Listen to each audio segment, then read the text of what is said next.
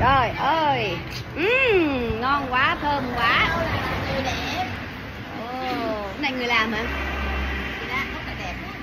Cảm ơn. Ôi ơi em Cái này là Cái này là bà con em em, em, em dâu của chị dâu mình. Đó. Quá bây giờ đồ sộ. Rồi. Quá hay sao? Con đi học bác sĩ hả? năm nay nữa nha. Ra trường hả? dạ. Rồi, rồi nghe nó quen. Ờ để tôi giới thiệu cháu của của của ờ, dì gái kêu bằng cô. Dạ, dạ, ở gần chị nè. Vậy gì nó chịu không biết nó đứa nào chịu con con em không chịu hả? Cái đứa nào có ghẻ chứ Ồ, vậy đó hả? chứ nó ghẻ luôn ồ đây nè thím mẹ thím lương thím gái ơi. Đây là là là con em tên gì? Đây là mẹ của là dâu của chú hữu nè thím lương. Dâu của chú hữu mà có một đứa con gái học bác sĩ.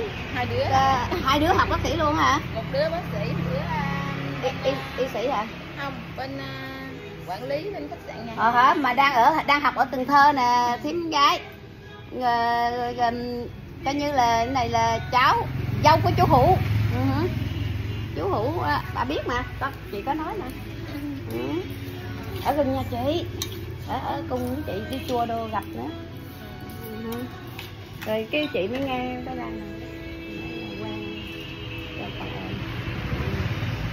Ở cho nó bán nè quá trời nè. Cơm sườn cơm thịt nướng bún phở quá trời luôn rồi nè.